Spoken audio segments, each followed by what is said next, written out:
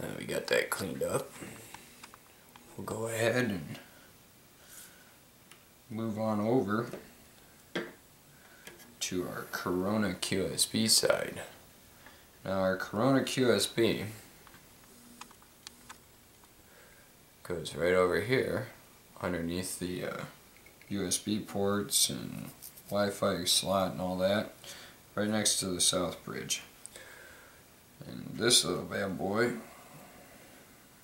will sit right in here.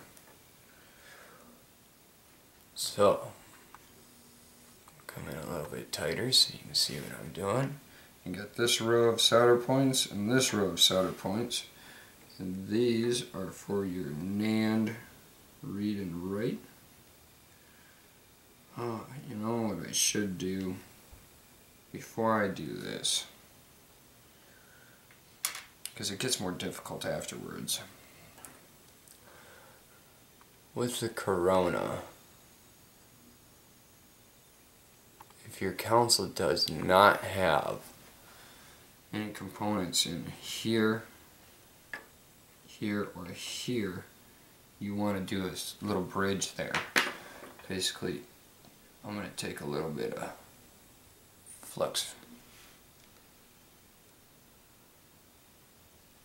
just a teeny little bit here. It doesn't take much. I tend to go too heavy with my flux.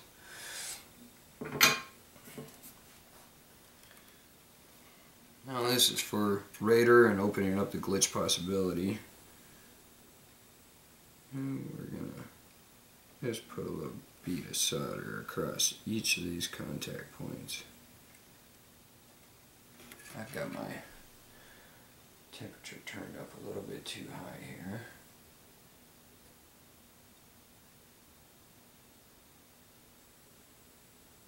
Dial it down a little bit.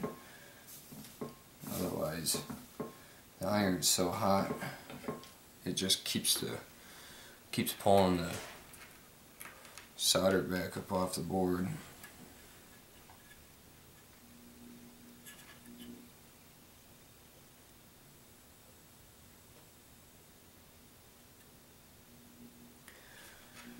If you have too much trouble doing this, you can always use a little jumper, uh, be it a, a, piece of wire or maybe a, a leg off of one of the caps and just make your own little jumper and attach it there.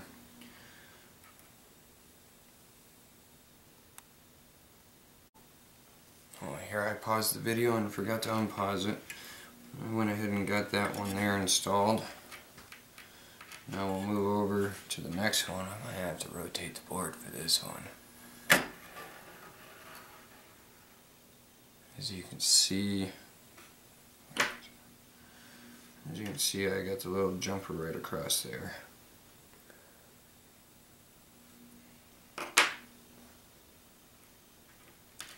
And these points are all right under where the QSB goes.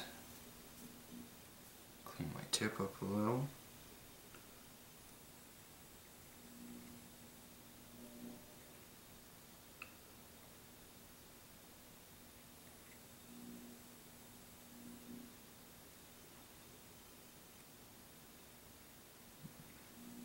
People struggle with these, and at the moment, I'm struggling too. I don't normally struggle with these points. And it's probably due to my iron. Every time I rotate the board too, I have a hard time figuring out where the heck the part the points are.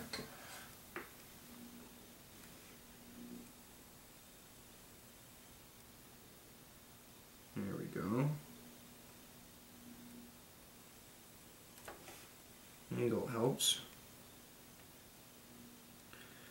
Do want to be careful when you're doing this not to accidentally float off any of the other components.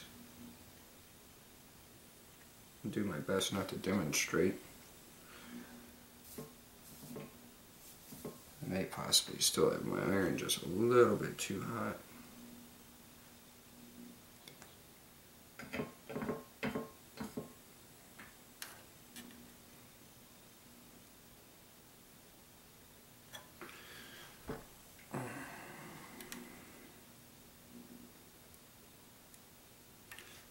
There's something stuck in the tip of my iron here.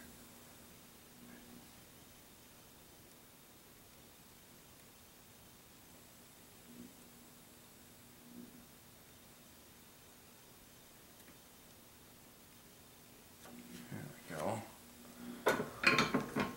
A lot of people are going to struggle with that, just like I just did. And I've been doing this for years. Now that we got all three of those bridges made, we'll go ahead and clean up the area again.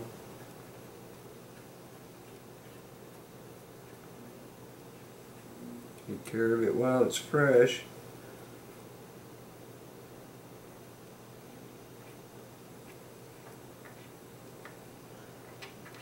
I don't know what that was on my iron. Uh, maybe a piece of my sponge.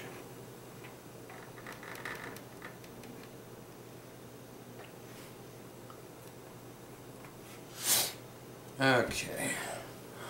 Now we'll pan out again. And rotate this board back around. Okay. So again, we're, we're still in this area.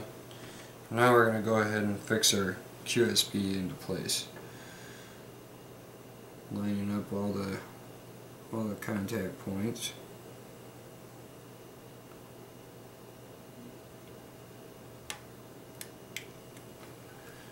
And it's got adhesive pads, so once you get it lined up, you can just kind of press it down into place.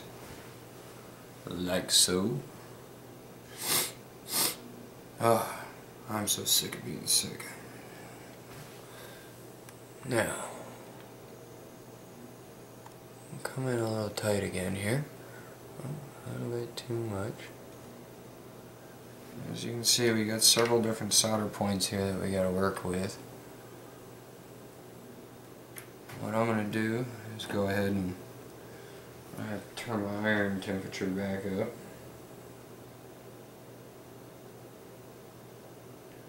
There's always one pad on here that I gotta crank it up a little higher to be able to work with.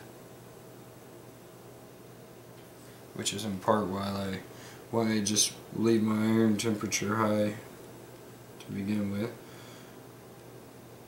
We're gonna go through here and just paint a little flux paste on the, all the contact points.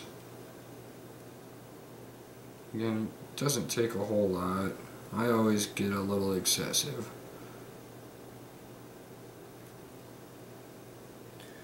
This stuff is incredibly important to use. A lot of people will be like, oh, I don't ever use it. And they end up with cold solder joints, pulling pads, damaging the board. Like I said, better safe than sorry.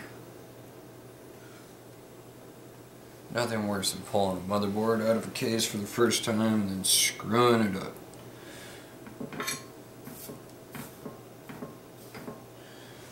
Now that we got flux paste on all those, we're going to go ahead and start on this side.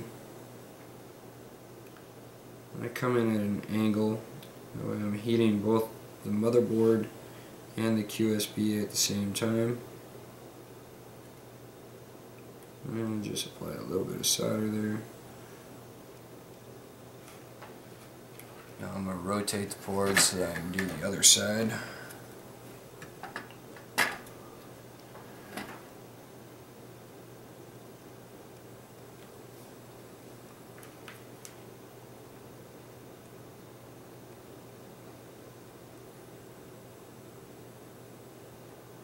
So this is the pad that always gives me trouble.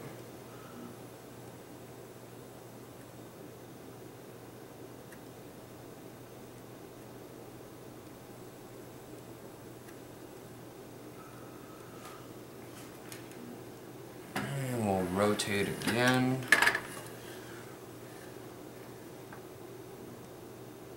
We'll come in and get all these contact points done. rotation after this and do the other side. Not happy with the way that one turned out.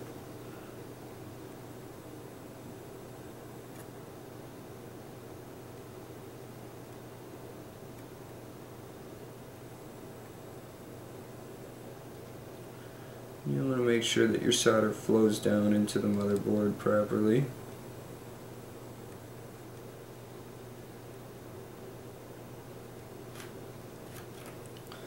And the final rotation. So that we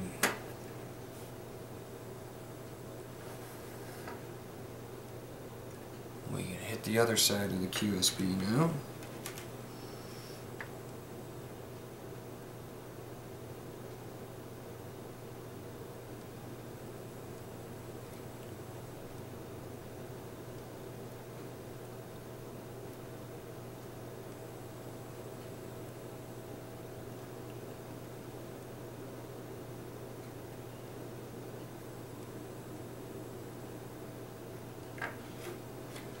There we have it. We got our Corona QSB installed. And as always, once completed, go ahead and take some rubbing alcohol, clean up all these contact points, and all the flux residue off.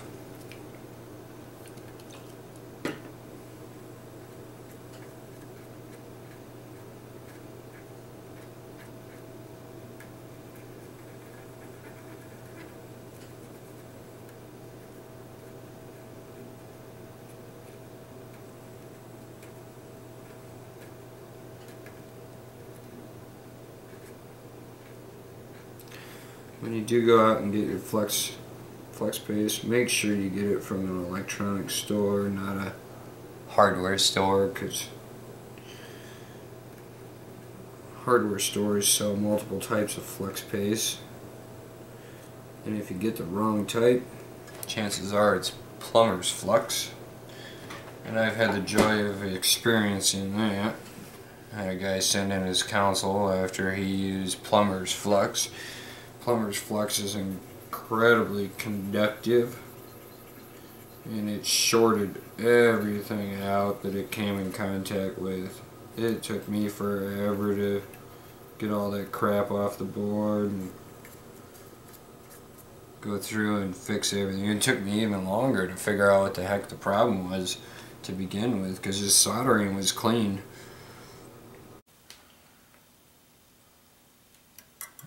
Catch this quick.